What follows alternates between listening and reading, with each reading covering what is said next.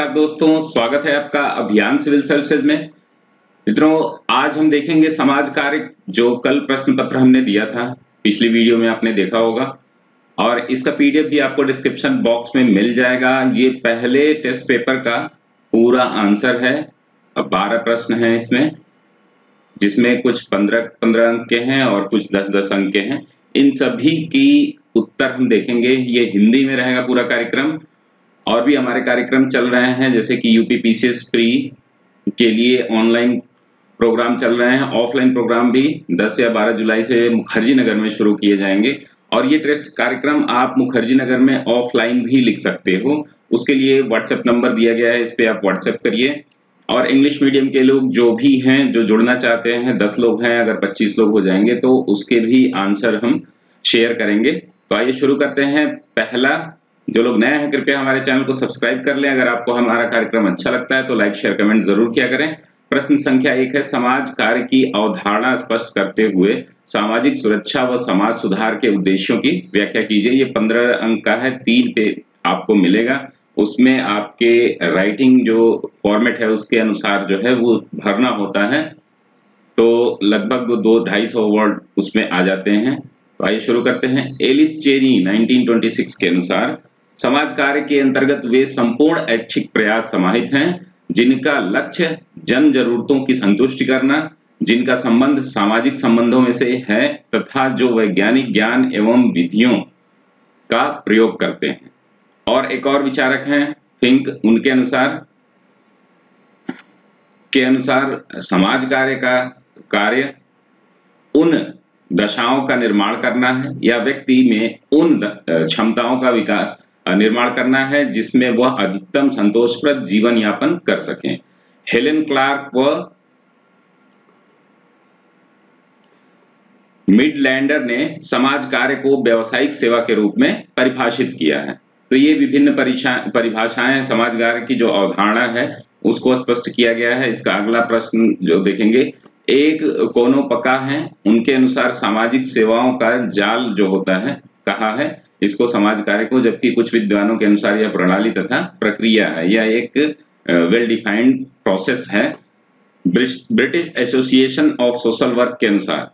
यह सामाजिक परिवर्तन, समस्या, सुलझाव एवं समाजीकरण को बढ़ावा देती है। अतः समाज कार्य की कोई एक सर्वमान्य अवधारणा नहीं है। संयुक्त राष्ट्र के अनुसार यह विभिन्न देशों में अलग अलग परिस्थितियों में अलग अलग रूपों में दिखती है। तो विभिन्न विचारकों के द्वारा समाज कार्य क्या है, समाज कार्य के क्षेत्र क्या क्या हैं, ये सारी चीज़ें बताई गई हैं। समाज कार्य के दो प्रमुख अंग हैं, सामाजिक सुरक्षा व सामाजिक सुधार। तो social security and social reform के बारे में पूछा गया है है, जिनके निम्नलिखित उद्देश्य हैं। इनके उद्देश्यों के बारे में हम बात करेंगे। पहला तो है सामाजिक सुरक्षा मतलब की सोशल सिक्योरिटी और दूसरा है समाज सुधार सोशल रिफॉर्म समाज में होने वाले असामाजिक या असामान्य दृश्यों कृत्यों के प्रति संवैधानिक तथा कानूनी सुरक्षा देना, वैधानिक तथा कानूनी सुरक्षा देना, समाज की, जो समाज सुधार क्या है, समाज की रूढ़िवादी परंपराओं में सुधार कर अनुकूलन लाना। तो ये दोनों इसके लक्ष्य हैं। अतः सामाजिक सुरक्षा व समाज सुधार, समाज में निम्नलिखित उद्देश्यों की प्राप्ति हेतु किए जाते हैं। तो उनके ऑब्जेक्टिव्स क्या क्या हैं, उनके बारे में हम देखेंगे। व्यक्ति की अंतर्निहित क्षमताओं का जो इंटरनल कैपेसिटी होती है, उनका विकास करना, उनके परिवेश में इस प्रकार परिवर्तन करना कि उसके व्यक्तिगत एवं सामाजिक जीवन में कम से कम समस्याएँ हों। मिनिमम जो डिफिकल्टीज होती हैं, उनको मिनिमम करने के लिए ये सोशल वर्क किया जाता है। सामाजिक उन्नति के अवसर प्रदान करना तथा शोषित वर्ग का मुख्य धारा से जोड़ना, उनको सामाजिक समाज कार्य का मुख्य उद्देश्य ये होता है कि कोई भी जो भी विक्टिम है, उसको ऐसी चीज़ें ट्रेन करना या उसको बताना कि वो सेल्फ डिपेंडेंट हो जाए। सामाजिक कार्य सामाजिक विकास हेतु तो अपेक्षित परिवर्तन करना, जैसे Stand Up India Skill India आदि, उनको रोज़गार उन्मुख बनाना, उनको स्किल्ड बनाना, ये सामाजिक डेवलपमेंट करना होता है। उपयुक्त विधानों का निर्माण करना, जैसे कि सुगम्य भारत योजना एस सी एक्ट आदि। उपरोक्त समस्त उपायों से समाज सुख सुख, शांति, समृद्धि को प्राप्त करेगा और राम राज्य की कल्पना यथा, यथारूप हो सकेगी। तो समाज कार्य का कार्य बहुत ही व्यापक है। उसके विभिन्न कार्यों को हमने देख चुका, देखा गया है पिछले प्रश्न में, और कैसे कैसे उसके ऑब्जेक्टिव्स को फॉलो करेंगे, हम क्या क्या ऑब्जेक्टिव्स हैं उसके, उसको देखेंगे। अगला प्रश्न देखेंगे, प्रश्न संख्या एक का, ख, भारतीय परिवेश में समाज कार्य के मूल्य एवं मान्यताएँ कहाँ तक तर्कसंगत हैं? तो इंडियन जो सीनियर ये है इंडियन कॉन्टेक्स्ट में सोशल वर्क के वैल्यूज़ और जो उसके ट्रेडिशंस हैं या उसके एजम्पन्स हैं उसके बारे में हम रीजनेबल जो डिस्कशन होता है, उसको देखेंगे। जिस प्रकार मनुष्य एक सामाजिक प्राणी है, उसके अपने कुछ मूल्य, मान्यताएँ होती हैं, जैसे रीति रिवाज, परंपराएँ, आचार विचार इत्यादि। जो कस्टम होते हैं, हमारे ट्रेडिशन होते हैं, हमारे जो कस्टम्स होते हैं, उनके बारे में हमें देखना है। ठीक उसी प्रकार समाज कार्य समाज कार्य की भी कुछ अपनी मूल्य, मान्यताएँ, मूल्य और मान्यताएँ होती हैं। जो भारतीय प्रदेश में कितनी तर्क संगत है, इसका मूल्यांकन निम्नलिखित बिंदुओं में के अंतर्गत किया जा सकता है। तो उसके विभिन्न पॉइंट दिए गए हैं। पहला पॉइंट है व्यक्ति की प्रकृति। इस सिद्धांत के अनुसार प्रत्येक व्यक्ति का अपना अस्तित्व होता है और वह मूल्यवान होता है। मानव व्यवहार और पर्यावरण के अंत अंतक्रिया का परिणाम होता है। जैसे ये ग्राफ के माध्यम से इसको समझाया गया है। तो ये आपको कंटेंट जो होगा बहुत ही वेरीफाइड और बहुत अच्छे सोर्स से बनाया गया है, बहुत अच्छे एक्सपर्ट्स द्वारा बनाया गया है। जीव प्रभावित करना, फिर पर्यावरण एक दूसरे के इंटरेक्शन से ये चीज़ें होती हैं। मनुष्य स्वभावतः विवेकशील नहीं होता है। वह जन्म से नैतिक व सामाजिक भी नहीं होता है। यह सभी मूल्यों, मूल्य भारतीय परिदृश्य में भी समान रूप से दिखाई देती हैं, जिन्हें बहुत पहले से समाजशास्त्र में भी अध्ययन किया जा सक, किया जाता रहा है। व्यक्तियों के बीच, व्यक्ति व समूह के बीच तथा समूहों के बीच आपसी संबंध के, समाज कार्य कैसे डिफाइन करता है? समाज कार्य हस्तक्षेप न करने की नीति तथा योग्यता पर उत्तरदीयता के मान्यता पर को नहीं मानता है। सरकार विभिन्न कार्यक्रमों के माध्यम से सभी को समान अवसर देना चाहिए, जैसे कि वर्तमान में कई जन कल्याणकारी योजनाएँ चल रही हैं। समाज कार्य की प्रणालियाँ व कार्य। समाज कार्य प्रणाली वैज्ञानिक ज्ञान व प्राविधिक निपुणता पर आधारित है। मैक्सिमम लोगों को लगता है, खास करके भारत में अभी भी, यह एक बिज़नेस के रूप में डेवलप नहीं हो पाया है। लेकिन इसका एक प्रोसेस होता है, एक साइंटिफिक स्टडी होती है सोशल वर्क की, और उसमें जो होता है प्रोफेशनल बनना पड़ता है। प्राविधिक निपुणता उसमें होनी चाहिए, पर आधारित है, और यह लोकतंत्र को भी एक प्रणाली के रूप में मानती है। समाज कार्य चौथा है कुसमायोजन व सामाजिक परिवर्तन। हमारी संस्कृति में गंभीर रूप से राजनीतिक, आर्थिक व सामाजिक कुसमायोजन व्याप्त है, जिसमें क्रमिक रूप से सुधार संभव है। अतः भारतीय परिदृश्य में समाज कार्य, मूल्य एवं मान्यताएँ बहुत ही तर्क संगत हैं। इसके द्वारा लोकतंत्र के लक्ष्य को सफलतम रूप से प्राप्त किया जा सकता है। अगला प्रश्न देखेंगे। प्रश्न संख्या एक का यह तीसरा पाठ है। समाज कार्य को समाज कल्याण के रूप में देखना कहाँ तक तर्कसंगत है? वर्तमान परिदृश्य में इसके बदलते प्रत्ययों की व्याख्या कीजिए।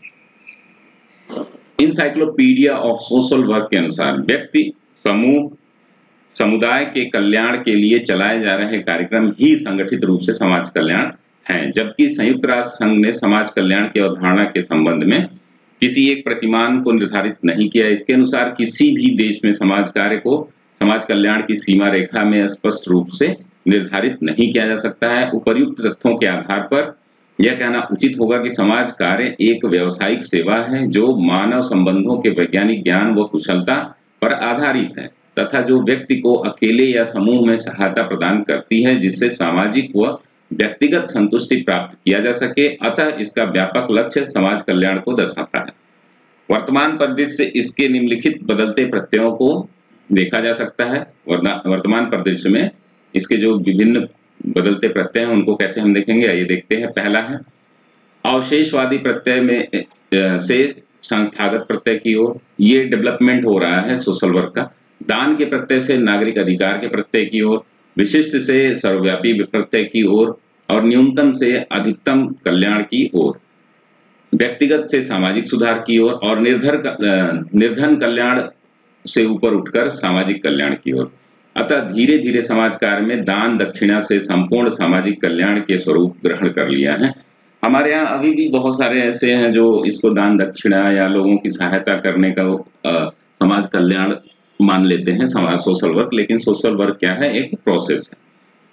समाज कार्य अभ्यास पर गांधी दर्शन की व्याख्या कीजिए तो आइए देखते हैं, दृश्यते अनैन इत दर्शनम अर्थात जो दिखाई दे उसे ही दर्शन कहते हैं। वास्तव में भारतीय समाज कार्य दर्शन पर गांधी दर्शन का अत्यधिक प्रभाव देखने को मिलता है। इन प्रभावों को हम मुख्यतः तीन रूपों में देख सकते हैं। सामाजिक दर्शन, राजनीतिक दर्शन और आर्थिक दर्शन। तो सामाजिक दर्शन की बात करेंगे। समाज कार्य के अंतर्गत सेवार्थी की सहायता इस प्रकार की जाती है कि वह स्वयं अपनी सहायता करने में सक्षम हो। जैसा कि मैंने पहले ही बताया है कि सोशल वर्क एक ऐसा प्रोसेस है, एक ऐसा साइंटिफिक स्टडी है, जिसके माध्यम से विक्टिम्स को ट्रेन किया जाता है, उसको स्किल्ड बनाया जाता है और वो सेल्फ डिपेंडेंट हो सके, इसके लिए उसको मोटिवेट किया जाता है। सक्षम हो सके, गांधी दर्शन भी आत्मनिर्भर बनाने पर आधारित है। गांधी जी ने प्रत्येक व्यक्ति की गरिमा को मानते थे, जिस पर समाज कार्य भी विश्वास करता है। गांधी जी ने शूद्रों के लिए हरिजन शब्द का प्रयोग दिया तथा उनकी व्यक्तिगत गरिमा हेतु 1932 में हरिजन सेवक संघ की स्थापना की। गांधी जी के सत्य और अहिंसा, जैसे विचार न केवल व्यक्ति के लिए, बल्कि समूह, समुदाय व राष्ट्र के लिए अनिवार्य तत्व है। गांधी जी के साधन साध्य की पवित्रता एक सामाजिक कार्यकर्ता हेतु तो आवश्यक गुण है। गांधी जी का सर्वोदय संबंधी विचार भी समाज कार्य की एक प्रमुख विचारधारा व उद्देश्य है। राम राज्य भी इनका इसी में आता है। आर्थिक दर्शन हम देखेंगे। आर्थिक दर्शन में गांधी जी ने ट्रस्टीशिप के सिद्धांत जो दिया है ट्रस्टीशिप का सिद्धांत एक्चुअली होता ये है कि हृदय परिवर्तन के आधार पर जो भी अमीर लोग हैं, जो ऊपर के पूंजीपति लोग हैं, वह अपनी वस्तुओं को समाज कार्य में अपनी जो भी सेवाएँ हैं, वो समाज कार्य के लिए कर सकें। समाज कार्य के लिए अत्यंत तर्क संगत है। इसके अंतर्गत गांधी जी ने बताया है कि जिन लोगों के पास आवश्यकता से अधिक धन है, उसे आवश्यकता ग्रस्त व्यक्ति की धरोहर समझें और ज़रूरत के समय मदद करें। राजनीतिक दर्शन में देखेंगे तो भारतीय संविधान के नीति निर्देशक तत्व में अनुच्छेद 40, 43 और 43 का सैतालीस अड़तालीस आदि पर गांधी दर्शन का प्रभाव देखने को मिलता है जो समाज कार्य दर्शन का प्रमुख आधार है। उपरोक्त के अलावा गांधी जी ने थोपने की जगह आत्म जागृति जो बोलते हैं ना कि आत्म जो जागरण होगा पर विकास पर बल दिया है, जिसका पूर्णतः प्रभाव भारतीय समाज कार्य पर दिखाई देता है। तो गांधी जी के सभी पक्षों को इसमें इंक्लूड किया गया है। अगला प्रश्न देखेंगे, दूसरे का ये ख है। भारत में समाज कार्य पूर्णतः व्यवसायिक छवि धारण नहीं कर सका है। स्पष्ट कीजिए तो इसको प्रोफेशनल बिज़नेस के रूप में कैसे हम देखते हैं वेस्टर्न कंट्रीज़ में कैसे इसका काफ़ी विकास हो चुका है। भारत में अभी भी विकास की संभावना है।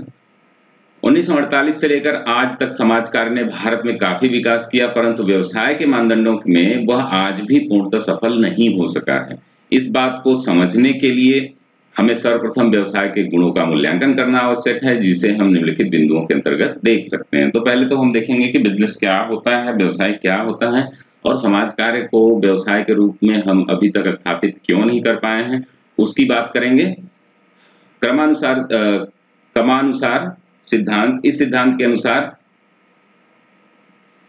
अभ्यासकर्ता द्वारा जो भी अनुभव, शोध, ज्ञान प्राप्त कर, होता है, उसे समाज कार्य में के शिक्षण, प्रशिक्षण कार्यक्रम से जोड़ दिया जाता है। परंतु अधिकतम शोध ऐसे हैं जो विदेशों में किए जाते हैं। अतः इन्हें भारतीय परिप्रेक्ष्य में उतना तर्कसंगत व व्यवहारिक रूप से नहीं देखा जा सकता है। भारत में समाज कार्य शोध तभी पूर्णतः विकसित अभी पूर्णतः विकसित नहीं हो सका है। व्यावसायिक शिक्षा एक तो प्रोफेशनलिज्म होनी चाहिए, जो भी हमारे कोर्सेज हैं। उन्नीस सौ छियानवे में यूएनजीसी यूजीसी ने स्नातक के पाठ्यक्रम में इसे शामिल करने की संस्कृति की और वर्तमान में भारत में लगभग 100 से अधिक संस्थानों में समाज कार्य अध्ययन का विषय है, जैसे कि IGNOU, Tata Institute of Fundamental Science जो है, वहाँ पे टीएफआईआर आदि में यहाँ पे कराया जाता है। व्यवसायिक संगठन, किसी भी व्यवसाय के लिए संगठन होना आवश्यक है, परंतु भारत में अभी भी अखिल भारतीय स्तर पर कोई मज़बूत संगठन सोशल वर्क के लिए नहीं है। ये एक संगठन Indian Council of Social Work है, जो, परंतु वह वर्ष में एक आध बार ही केवल मीटिंग माध्यम के से संगोष्ठियों के माध्यम से ही चलता है। उसकी सक्रियता पूर्ण भारत में नहीं आचार संहिता, चूँकि भारत में कोई सक्रिय व्यवसायिक समितियाँ नहीं है अतः आचार संहिता का पालन कठोरता से नहीं हो पाता।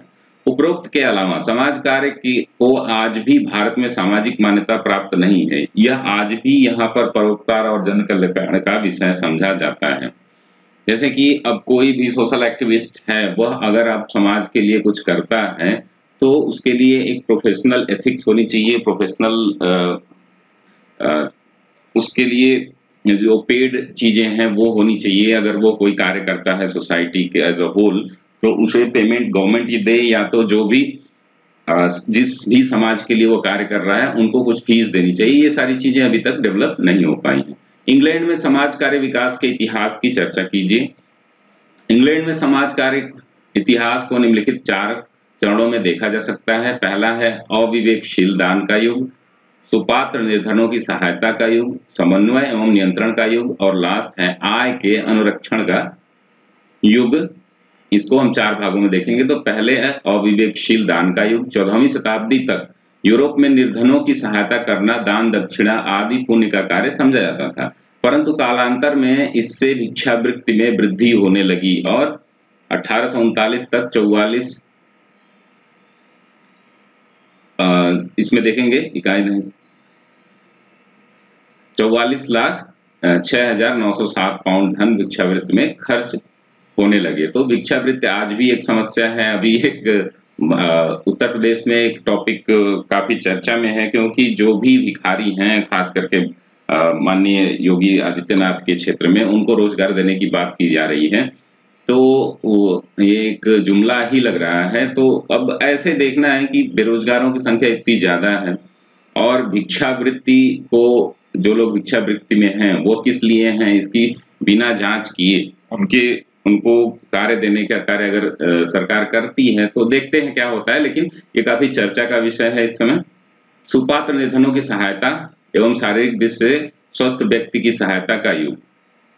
तेरह में किंग एडवर्ड तृतीय ने कहा कि निर्धनता के लिए निर्धन व्यक्ति ही उत्तरदायी है। अतः हृष्ट पृष्ठ लोग अवश्य कार्य करें। 1601 में एलिजाबेथ ने एलिजाबेथ निर्धन कानून लाया, जिसमें 43 एलिजाबेथ ने कहा कि इसमें निम्नलिखित प्रावधान किया गया। पहला, पंजीकरण आवश्यक है। स्वस्थ शरीर वाले काम करें। शक्तिहीन निर्धन, जो भोजन, कपड़ा और सुधार गृह उनको मिला। आश्रित बच्चे का पालन पोषण। समन्वय एवं नियंत्रण का युग। इसके अंतर्गत 1832 में शाही आयोग आया, जिसकी संस्कृति के अनुसार बच्चों और स्वस्थ व्यक्तियों में भिक्षावृत्ति व आवारापन बढ़ रहा है।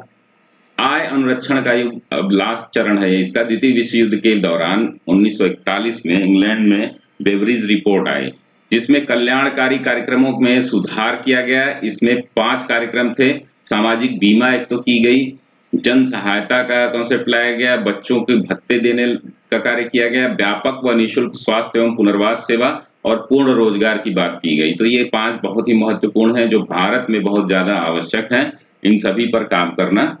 अगला प्रश्न देखेंगे अगला इसका पैरा देखेंगे।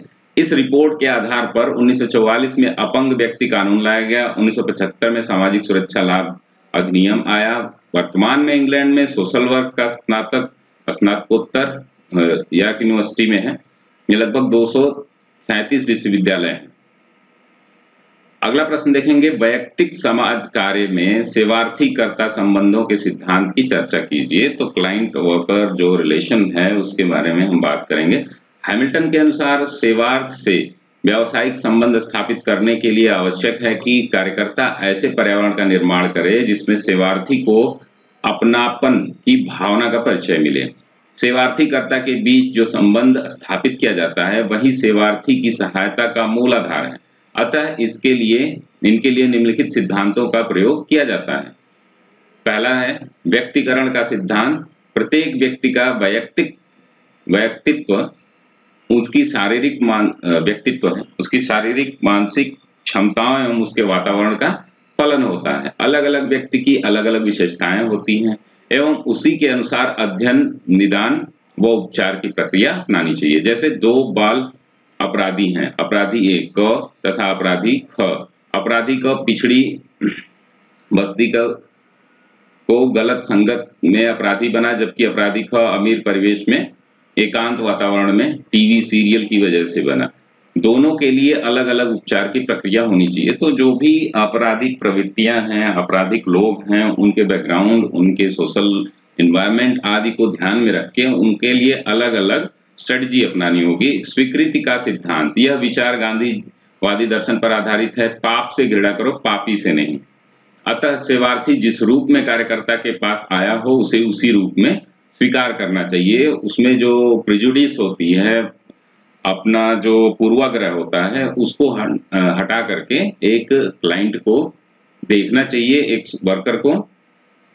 आत्मनिर्णय का सिद्धांत, सेवार्थी को जिस प्रकार की भी सेवा दी जाए, उसमें उसकी स्वीकृति आवश्यक है। अपनी सेवाओं के संदर्भ में स्वयं निर्णय लेता है, ताकि उसके अहम का विकास हो सके। तो ऐसा नहीं है कि किसी ने कुछ गलत कर दिया और उस वो आपके पास आया है, आप एक सोशल वर्कर हो तो उसको हीन भावना से देखो या उसको कोई किसी जाति से है, किसी धर्म से है या किसी निम्न परिवेश से है तो उसको उसी रूप में देखना चाहिए और समाधान उसी के अनुसार होना चाहिए। अगला देखेंगे, गोपनीयता का सिद्धांत। सेवार्थी से प्राप्त सूचना को अत्यंत गोपनीय रखना चाहिए। अब जो रेप विक्टिम होते हैं या जो किसी ऐसी आपराधिक प्रवृत्ति में होते हैं कि अगर उनकी सूचनाएँ लीक हो जाएँ तो जो लोग भी उनके कार्यकर्ता जो भी उनको शोषण किए हैं, वो व्यक्ति जो है गलत स्टेप ले सकता है। सेवार्थी से प्राप्त सूचना को अत्यंत गोपनीय रखना चाहिए। इसे उतने ही व्यक्तियों को और उतनी ही मात्रा में देना चाहिए जितनी उपचार के लिए आवश्यक है। इसको प्रोपोगेंडा नहीं बनाना चाहिए। इसके अलावा अनिर्णायक मनोवृत्ति का सिद्धांत, नियंत्रित संवेदात्मक संबंधों का सिद्धांत आदि ऐसे सिद्धांत हैं जिनके द्वारा कार्यकर्ता एक सफल व्यवसायिक संबंध स्थापित कर सेवार्थी की सहायता करता है। अगला प्रश्न देखेंगे। तीसरे का, स। इसके बाद तीन प्रश्न और रहेंगे। वीडियो थोड़ी लंबी होगी, लेकिन जो भी लोग सोशल वर्क, सब्जेक्ट रखे हैं, इसको ज़रूर देखें। वैयक्तिक समाज कार्य की अवधारणा स्पष्ट करते हुए बलात्कार से पीड़ित एक महिला की सहायता हेतु कार्यकर्ता द्वारा अपनाए गए चरणों की व्याख्या कीजिए। तो मनु एम देसाई के अनुसार वैयक्तिक समाज कार्य ऐसी प्रक्रिया है जो न केवल व्यक्तित्व व्यक्ति की यथास्थिति के साथ समायोजन स्थापित करने की, अपितु नए नए स्तरों पर परिवर्तनशील उसके सामाजिक वातावरण में परिवर्तन में सक्रिय भागीदारी करने की, व्यक्ति की क्षमता में वृद्धि करने की प्रक्रिया है। वैयक्तिक समाज कार्य समाज कार्य की प्राथमिक प्रणाली है। यह व्यक्ति तथा उसके पर्यावरण में इस प्रकार परिवर्तन करता है कि व्यक्ति का उसके पर्यावरण के साथ समायोजन स्थापित हो सके। बलात्कार से पीड़ित एक महिला की सहायतार्थ हेतु कार्यकर्ता अध्ययन निदान उपचार जैसे तीन चरणों का उपयोग करेगा। तो पहला देखेंगे अध्ययन। इसके अंतर्गत महिला से जुड़ी समस्त जानकारी उसके पर्यावरण की जानकारी उसके साथ परिवार के लोगों का व्यवहार समाज का व्यवहार का अध्ययन करना जा, किया जाता है। निदान। अध्ययन के आधार पर बलात्कार के कारणों का पता लगाना तथा कारणों के आधार पर महिला का श्रेणीकरण करना। तो अभी आर्टिकल 15 मूवी आई है उसमें भी बहुत ही ऐसी चीज़ें देखने को मिलेंगी। क्योंकि वो पुलिसिया खोज है तो उसमें बहुत सारी चीज़ें नहीं है लेकिन एक समाज कार, सामाजिक कार्यकर्ता के रूप में उस केस को भी देखा जा सकता है। लेकिन उसमें महिलाओं का की हत्या की गई है तो हत्या के बाद विक्टिम हमें मिलता नहीं है तो उसमें ये चीज़ें लागू नहीं हो पाएँगी। उपचार, प्रत्यक्ष, अप्रत्यक्ष, सेवार्थ की सीधे सहायता करना या बलात्कार के कारण उसके बाहर उसके व्यवहार में आए परिवर्तन, परिवार का व्यवहार और तथा कानूनी व मनोवैज्ञानिक सहायता देना। अगला प्रश्न देखेंगे। एक सेवार्थी की सहायता करते समय कितनी मात्रा में अंतरण या अन्यारोपण के सिद्धांत को लागू करना उचित है। वैयक्तिक समाज कार्य में सेवार्थी कर्ता संबंध ही सेवार्थी की सहायता में महत्वपूर्ण भूमिका निभाते हैं। हैमिल्टन ने इस संबंध में अति आवश्यक व संवेदनशील बताया है। इस संबंध को, क्योंकि सेवार्थी की मनो, मनोसामाजिक स्थिति संतुलित नहीं होती है, अतः कभी सेवार्थी कार्यकर्ता के साथ सहायता प्राप्त करने के दौरान अपने पूर्व के अनुभवों, मनोवृत्तियों, संबंधों आदि का प्रक्षेपण कार्यकर्ता के ऊपर करना लगता है। जैसे कि कार्यकर्ता के अंदर अपने पिता की छवि का प्रक्षेपण या अपने किसी पुराने मित्र की छवि को देखना आदि की प्रक्रिया को अंतरण कहते हैं। कभी कभी सेवार्थी की सहायता करते समय अंतरण प्रक्रिया को जानबूझकर उत्पन्न किया जाता है, जिससे सेवार्थी अपने पूर्व के अनुभवों आदि को अच्छी तरह से खुलकर व्यक्त करे, जिससे कि उसकी समस्या को जड़ से खत्म किया जा सके। परंतु अंतरण की प्रक्रिया केवल सीमित समय के लिए बुद्ध जानकारी, हेतु अपनाई जाती है, तथा उससे कार्यकर्ता के प्रति संवेगात्मक रूप से तटस्थ रहना आवश्यक होता है। प्रश्न संख्या चार का क देखेंगे। अभी ये तीन प्रश्न बचे हुए हैं। निर्देशित समूह अंतक्रिया के सिद्धांतों की चर्चा कीजिए। विल्सन एंड राइलैंड के अनुसार कार्यकर्ता समूह में होने वाली अंतक्रिया को इस प्रकार प्रभावित करता है, जिससे समूह प्रजातांत्रिक भावना को साकार करने में सक्षम हो सके। प्राय किसी भी समूह के अंदर या विभिन्न समूह के मध्य अंतक्रिया हेतु निर्देशन आवश्यकता इसलिए, निर्देशन की आवश्यकता इसलिए पड़ती है क्योंकि विभिन्न समूहों की शक्तियाँ भिन्न भिन्न होती हैं। उनकी मान्यताएँ तथा उनके पर्यावरण में भिन्नता होती है। तथा अतः समूह के सदस्यों के अंदर तथा बाहर के लोगों के मध्य होने वाली अंतक्रिया को सही दिशा में निर्देशित करना अति आवश्यक है, जिससे समूह अपने लक्ष्यों को प्राप्त कर सके। उदाहरणार्थ, बाल अपराधियों का एक समूह है। जिसमें कई प्रकार के बाल अपराधी, कुछ जघन्य अपराधी तथा कुछ सामान्य श्रेणी के पर्यावरण का पर्यावरण भी अलग अलग होगा। कुछ उच्च श्रेणी के घरों के होंगे तथा कुछ अत्यंत निम्न श्रेणी के झुग्गी झोपड़ियों में रहने वाले। अतः इन सभी सदस्यों को एक सकारात्मक दिशा में अंतक्रिया स्थापित करने हेतु कार्यकर्ता द्वारा समय समय पर निर्देशित किया जाता है। इसके लिए कार्यकर्ता द्वारा निम्नलिखित योजना बनाई जाती है। कार्यक्रम के निर्धारण व क्रियान्वयन में निर्देशन देना, प्रगतिशील कार्यक्रमों के नियोजन में सहायता देना, विभिन्न कार्यक्रमों के माध्यम से नेतृत्व का विकास करना, सदस्यों की भागीदारी बढ़ाना और कार्यक्रम को सरलता से, जटिलता की ओर क्रमिक रूप से ले जाना। अतः विभिन्न माध्यमों से यदि कार्यकर्ता द्वारा समूह को सही को सही दिशा में समय समय पर निर्देशित किया गया हो, समूह अपने लक्ष्य को प्राप्त करता है। अगला प्रश्न देखेंगे। इसके बाद सिर्फ़ एक प्रश्न बचेगा। नेतृत्व की अवधारणा स्पष्ट करते हुए नेतृत्व के विकास में कार्यकर्ता की भूमिका को स्पष्ट कीजिए। हैमिल्टन के अनुसार समूह कार्यकर्ता समूह कार्य समाज एक मनोसामाजिक प्रक्रिया है जो नेतृत्व के विकास की योग्यता और सहकारिता से उतनी ही संबंधित है जितनी सामाजिक उद्देश्य के लिए सामूहिक अभिरुचियों के निर्माण से। नेतृत्व के नेतृत्व से आशय है व्यक्ति या व्यक्तियों के समूह को अपनी इच्छानुसार या दी हुई परिस्थिति के अनुसार प्रभावित करना होता है। नेतृत्व में चार प्रमुख तत्व होते हैं, नेता, अनुयायी, परिस्थिति और लक्ष्य। यहाँ नेता से आशय समूह द्वारा अपने ही सदस्यों में से किसी एक को चुनना तथा बाकी सभी सदस्यों, सदस्य अनुयायी की तरह कार्य करते हैं करेंगे।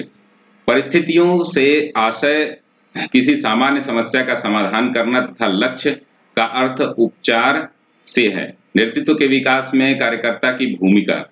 नेतृत्व एक द्विमुखी प्रक्रिया है, जिससे नेता समूह को प्रभावित करता है, तथा वही समूह की भावनाओं से प्रभावित भी होता है। इसके अंतर्गत सुझाव, आग्रह, प्रभुत्व जैसे तत्व शामिल होते हैं। अतः एक कार्यकर्ता को नेतृत्व के विकास में निम्नलिखित भूमिका अदा होती है, जैसे पहला देखेंगे हम। समूह में किन किन परिस्थितियों में कैसे नेतृत्व की आवश्यकता है, तथा उसके गुणों को स्पष्ट करना। प्रत्येक व्यक्ति को समूह के में समान अवसर देना, सदस्यों में निर्णय लेने की शक्ति का विकास करना, कार्यक्रम संबंधी क्रियाओं, उत्तरदायित्व का निर्वाहन करना, निर्धारण करना, उपरोक्त माध्यम से एक समूह कार्यकर्ता समूह के प्रत्येक सदस्य के नेतृत्व का विकास करता है ताकि वह अपने जीवन का उपयोग कर सके। ये अंतिम प्रश्न है। समूह कार्यकर्ता की, कार्य समाज की अवधारणा स्पष्ट करते हुए मानसिक रूप से मंदित बालकों के को एक समूह के साथ कार्यकर्ता द्वारा अपनाए गए सिद्धांतों की व्याख्या कीजिए। तो कोनोपका के अनुसार, समूह समाज कार्य समाज कार्य की प्राथमिक प्रणाली है, जिसका उद्देश्य सामूहिक अनुभव के माध्यम से व्यक्तित्व, व्यक्तिगत सामूहिक व सामुदायिक समस्याओं का समाधान करना व सामाजिक कार्यकर्ता सामाजिक कार्यकर्ता में में वृद्धि करना, मानसिक रूप से मंदित बालकों के एक समूह के साथ कार्यकर्ता को समूह, कार्य समाज ऐसे सिद्धांतों का प्रयोग करना होगा जिससे इनकी सृजनात्मक क्षमता में वृद्धि हो सके तथा वह समाज की मुख्य धारा से साथ जुड़ सकें। इसके लिए कार्यकर्ता को निम्न सिद्धांतों का उपयोग करना चाहिए। पहला है उद्देश्यपूर्ण कार्यकर्ता, समूह, संबंध का सिद्धांत, संबंधन का सिद्धांत। मानसिक रूप से मंदित बालकों के साथ कार्यकर्ता को स्नेह पूर्वक व रुचिकर कार्यक्रमों के माध्यम से ऐसे संबंधों को विकसित करना होगा, जिससे वह कार्यकर्ता की बातों को समझ सके। निरंतर व्यक्तिकरण का सिद्धांत। समूह के अंदर कुछ ऐसे भी बालक होंगे जो समूह के साथ सामंजस्य स्थापित नहीं कर पाते होंगे। तो उनके लिए क्या करना है? अतः निरंतर व्यक्तिकरण के माध्यम से उनकी क्षमता का को प्रोत्साहित करना होता है। निर्देशित समूह अंतक्रिया का सिद्धांत। कार्यकर्ता द्वारा मंदित बालकों के समूह के विभिन्न कार्यक्रमों को इस प्रकार निर्देशित करना कि उसकी सृजना, सृजनशीलता का विकास हो सके और उनमें आत्मविश्वास की भावना जागृत हो सके। इन सभी के अलावा प्रजातांत्रिक नेतृत्व का सिद्धांत, लचीले कार्यक्रम, अनुभव का सिद्धांत, स्वीकृति का सिद्धांत आदि सभी ऐसे सिद्धांत हैं जिससे एक कार्यकर्ता मानसिक रूप से मंदित बालकों के व्यक्तित्व का विकास कर सके और उनके उनको मुख्य धारा से जोड़ सके। तो ये रहा पूरा आपका आ, पूरे उत्तर रहे। इसके बाद हमारे जो भी टेस्ट हैं उनका यहाँ पे शेड्यूल दिया गया है।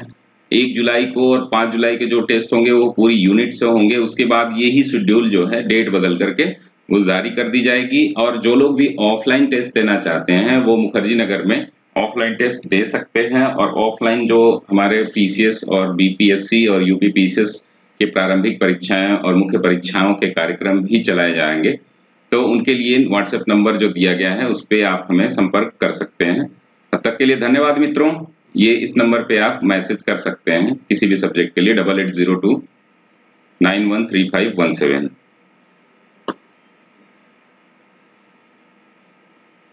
यहाँ पे नंबर गलत लिख दिया गया है डबल एट ज़ीरो टू है। Double eight zero two nine one three five one seven